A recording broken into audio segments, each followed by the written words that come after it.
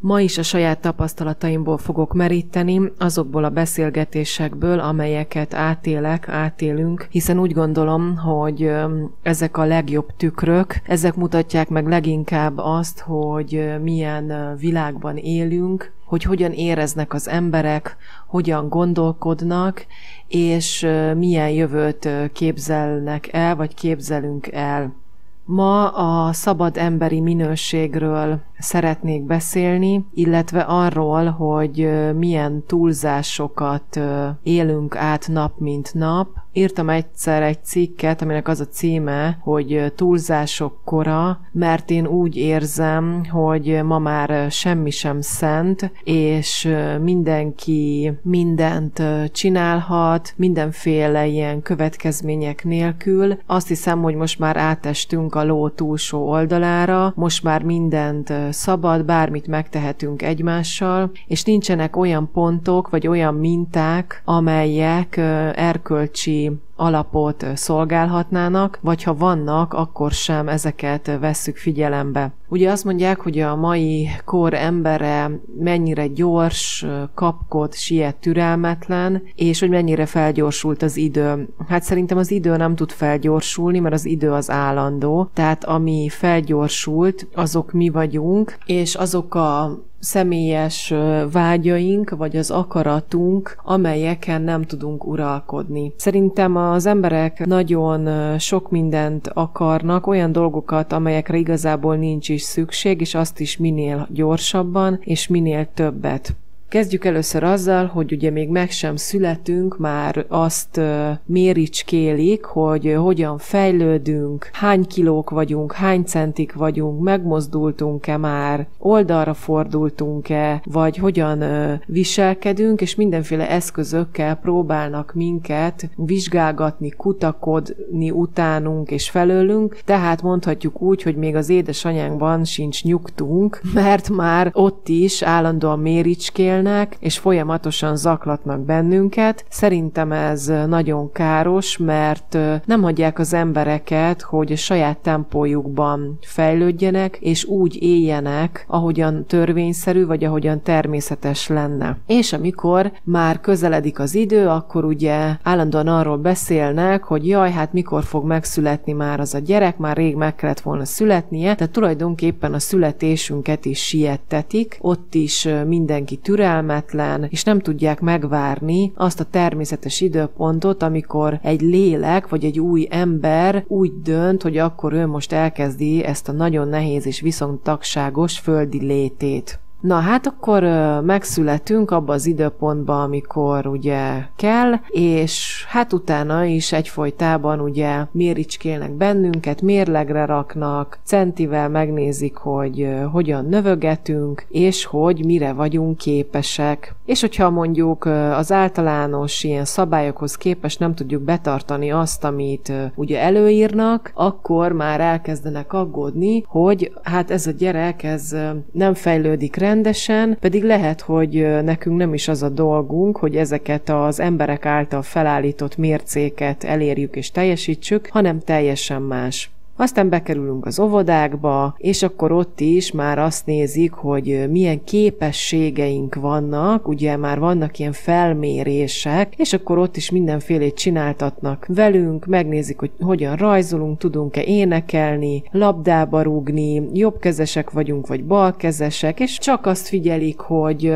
milyen fizikai dolgokat tudunk elvégezni. Hát a lelkiségünkkel ugye ritkán foglalkoznak. Aztán kezdődik kezdődik az iskola, már van egy ilyen szó, ugye, hogy iskola érettek, már azt is vizsgálják, hogy a gyerekek mennyire váltak ki ahhoz, hogy bekényszerítsék őket az iskola padokba, és tulajdonképpen hátratett kézzel ülve éljék le az életüket 8-10-10 akárhány évig, úgyhogy tulajdonképpen önálló véleményük az nagyon nem lehet, mert akkor ugye már külön kellene velük foglalkozni, és hát az a lényeg, hogy lehetőség szerint négyesre, ötösre teljesítsünk mindent. Most már egyre több vizsga van, egyre több felmérés van. Épp az imént hallottam egy 16 éves fiatal lánytól, majdnem minden nap 8 órájuk van a gimnáziumban, egy héten kétszer, az összes többi napon pedig 7 óra. Hát könyörgöm, hát szerintem 6 órát is alig lehet kibírni, főleg ilyen száraz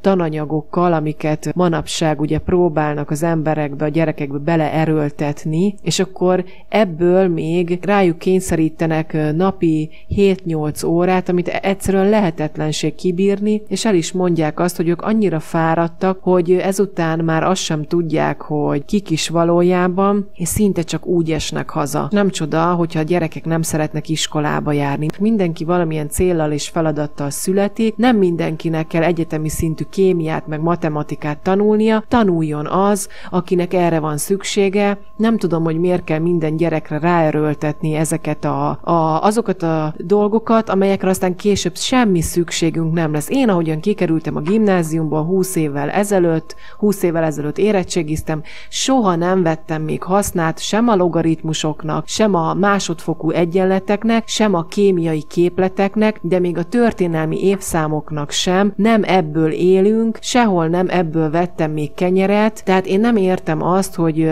miért nem veszik már észre, hogy felesleges időpazarlás az, amit ezekre töltünk, meg amit a mai gyerekekből ki, próbálnak kierőszakolni hát nem tudom, hogy mindenkiből ilyen professzorokat akarnak nevelni, de a lelkiségünkkel pedig egyáltalán nem foglalkoznak, mert azt kellene tanítani, hogy hogyan éljünk meg, hogyan tudjunk eligazodni a világban, és hogyan ismerjük meg saját magunkat, hogyan alakítsunk ki önmagunkból egy önazonos személyiséget, aki mindig ugyanolyan, és tisztában van saját magával, a saját korlátaival és a lehetőségeivel, mert ugye ezt nagyon nagyon ritkán mondják el, hogy micsoda lehetőségek és kincsek rejlenek bennünk. No de, én 2009-ben azért hoztam létre a Damai magazint, ami azt jelenti, hogy békés, békésen élő, hogy ezekről a témákról beszéljek és írjak. Most már ezer cikket írtam, pontosan azért, hogy megmutassam az embereknek, hogy milyen csodálatos lények vagyunk, és hogy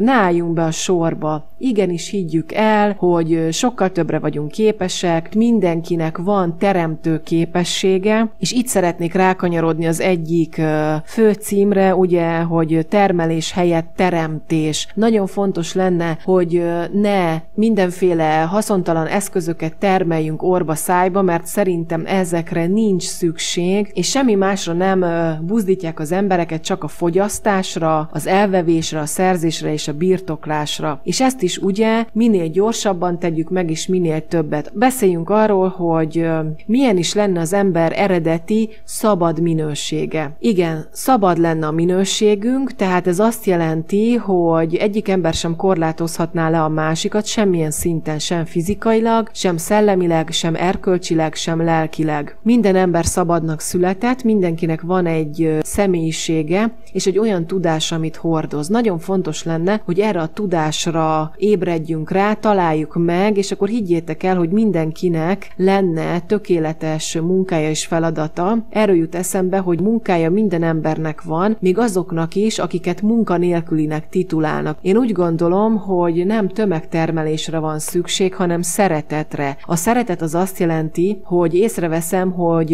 egy másik ember mire képes, hogy mit tud, és lehetőség szerint támogatom. Higgyétek el, hogy sokkal jobb lenne a világ, sokkal szebb lenne, ha mindenki kiegyensúlyozott lelkiséggel élhetne, mert nem lenne ennyi vita, nem lenne ennyi veszekedés, nem lenne káosz, mindenki boldog lenne. Szerintem azért van ilyen mértékű agresszivitás a Föld nevű bolygón, mert az emberek nem tudnak kiteljesedni, nem tudják az eredeti minőségüket képviselni, hogy egy magasabb isteni rendet szolgáljunk, ami, ami a szeretetről szól. Az a legfontosabb tanulnivalónk, és ezt kellene 12 évig tanítani a gyerekeknek az iskolába, nem a logaritmust, hogy hogyan épít építsük ki a szeretetnek minden válfaját, minden dimenzióját, és ezt kellene gyakorolni. Az egymás közötti kapcsolatot, a kommunikációt, a figyelmet, a megértést, az összefogást, a toleranciát, a humánumot, az adakozást, annyi tantárgy lehetne, olyan sok és szép és érdekes dolgokat lehetne tanulni, hogy bőven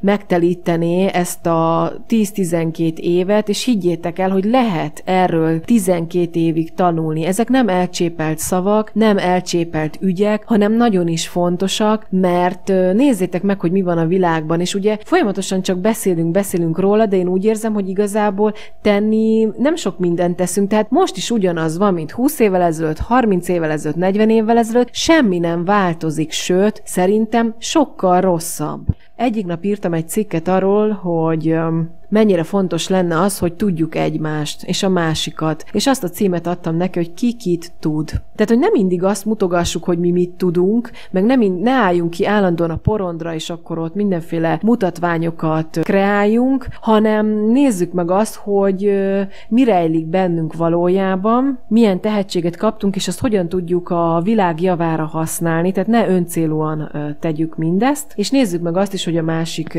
mire képes. Nem mindegy, hogy az ember ember hogyan éli le az életét, hogy, hogy mennyire becsüli saját magát, és azt a kincset, azt az ajándékot, amit személyiségként megkapott. Nagyon fontos lenne, hogy ezt felépítsük, hogy kialakítsunk egy olyan létezőt, aki nagyon sok embernek tud segíteni, aki az életével példaként szolgálhat, és olyan pozitív és felemelő dolgokat tud adni, amelyekkel nagyon sok ember életét mentheti meg, lelkileg is, és nagyon sok embernek adhat erőt.